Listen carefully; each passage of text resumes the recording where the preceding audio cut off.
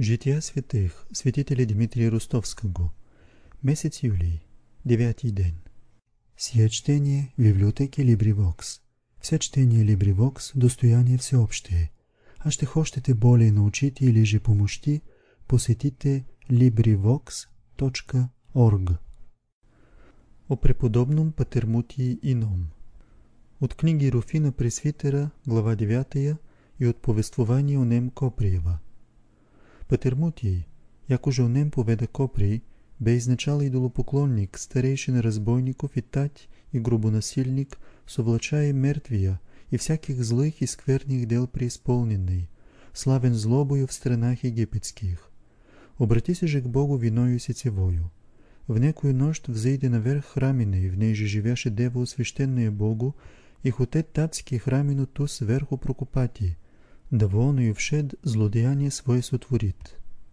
Трудився же долго и ничтоже успев, воздремася и усну, и узрев видение некоего светла мужа царски одеянного глаголюща к нему.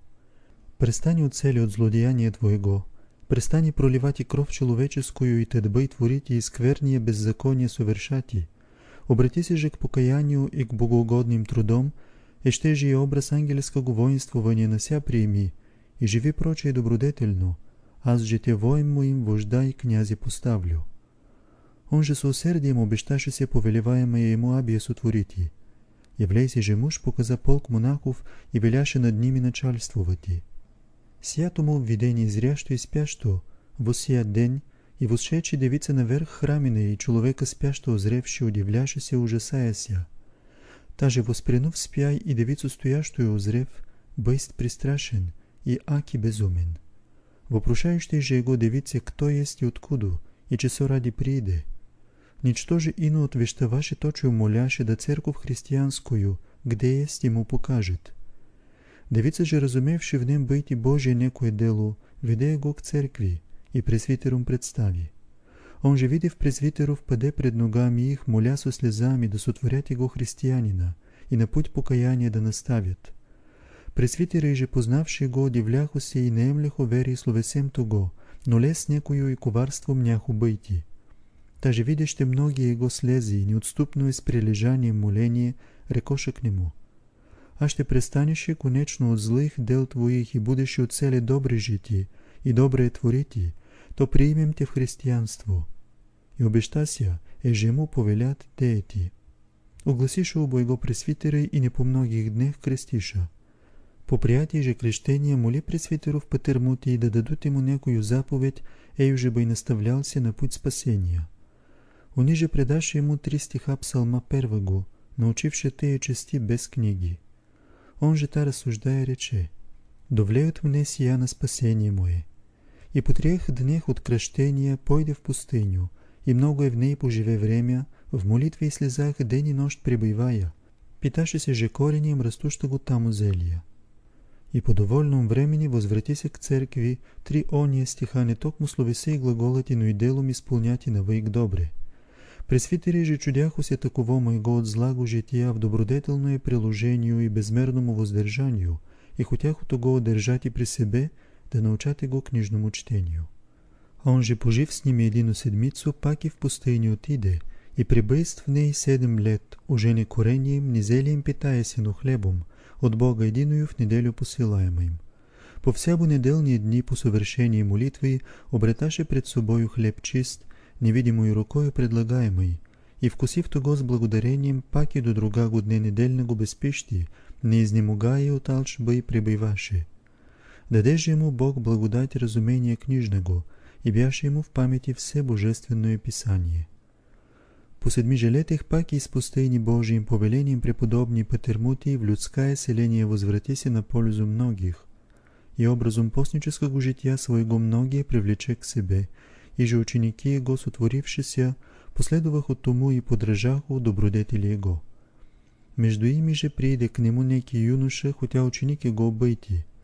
Он же того прием, облече его в иноческое одеяние, еже бели витонар власяный, и кукуль, и козья кожа, я же обычно отинуков милут или милотар нарицашеся, и наставляше того на богоугодное иночествование. Беже обичай преподобному Петермутию посещати болящия и приседете до кончини их, и умершие погребати, от своего чтания снискивая им погребательные одеяния. И видев юный он и монах Велия старцева о погребении мертвых чтаний, рече к нему, «Отче, хотел бы и я сега умру да тако ми одееши и погребеши». Отвеща отец, сотворю тако чадо мое, и толико неоскудно те одею, донели же сам речеши довлеет. И бесне по многом времени представите се тому юному монаху, старец же по обычаю погребателными одеяниями го обвив и лице покрив рече к мертвому. Довлеют ли тебе чадо сия к погребению, или еще нечто приложим? Отвеща мертви во услышание всем глаголя. Довлеет отче. И удивише се все предстоящие чудеси таковому, и начаше почитати и славити старца яко чудотворца. Он же не терпя от них славимой быти, погребши мертвого Аби отаився от всех в пустыню отиде.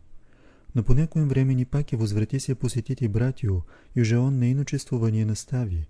И бъйсте му откровено от Бога о едином брате болящим и близи смерти сущим, и же при некое веси недалече от челническую свою имееше келию. Пойде убо с отчитанием посетити его.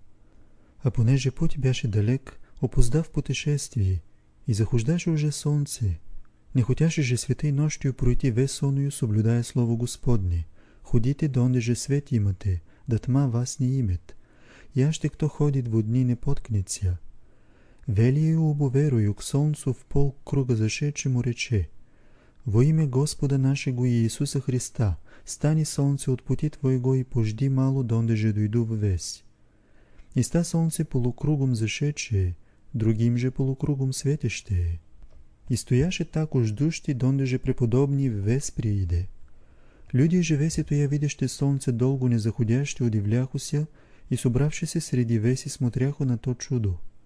Минувшо же несколько времени узреше преподобного Петермутия из пустыни в весих приходящего и срече его вопрошаху о чудесном стоянии солнечном. Он же рече им, «Не помните ли словес Господних в Евангелии, имейте веру получающих? Я ще кто возимеет веру яко зерно горушно, той может и горе представляти. И ею же верую, кто горе представляти может, той же верую сили нести солнце от течения оставити. Сия ему изрекшо разумеше все, яко его ради ста солнце, еже пришедшо ему в весь Абие зайде. И поклонише се старцу со страхом, и последуваше ему мнози грядущу к болящему брату.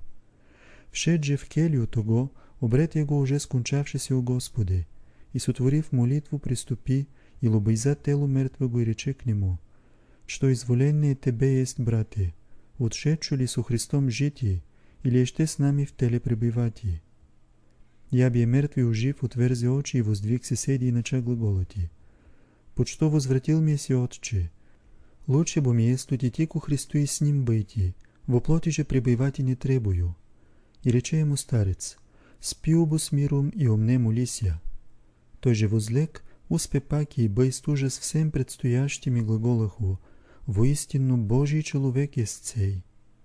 Преподобный же упрятав тело умершего всю нощту проводи в псалмопении.